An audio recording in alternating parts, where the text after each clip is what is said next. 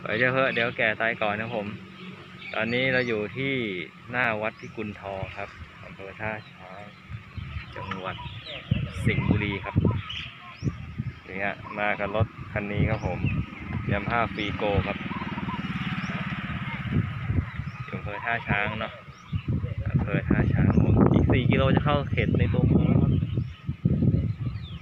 ภาพบรรยากาศมาฝากครับผมฟ้าใหญ่มาก